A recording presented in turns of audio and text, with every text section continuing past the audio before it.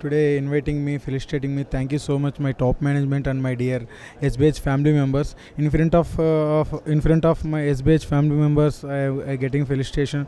Today I'm really happy because what I achieved today uh, because of SBH only. Without SBH, I never you know continue my cricket career because of SBH only I am continuing my career I am serve the country I am bringing the laureates to country thank you so much my bank my family members thank you